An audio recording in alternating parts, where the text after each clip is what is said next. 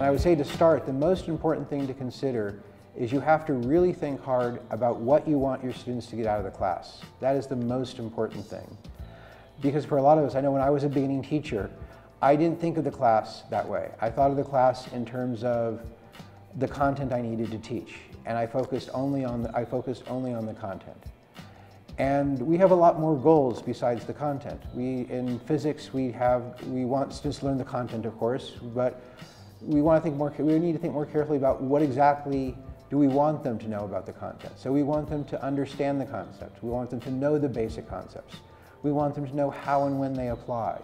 We want them to make sure they can know how to use them in problem solving, that they know how to use the, the equations correctly, that they know how to use these equations as tools to, to analyze situations and to solve problems. Um,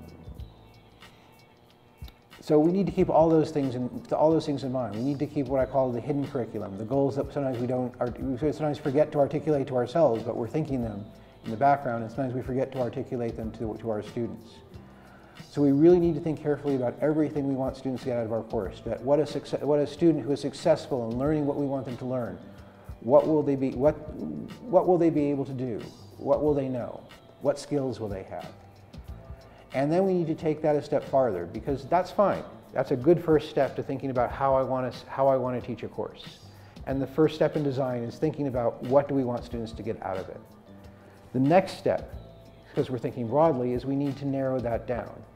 We need to think, because it's one thing to say we want students to understand the concepts, but how do we measure understanding? That's very hard. So we need to refine that to something that we can actually measure. So we need to have competencies.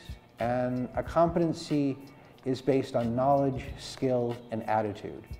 And it also needs to be clear to the student. So a student can, I can state a, a, competency to a student and they can say, I can do that, or I don't know how to do that, but I can learn how to do that.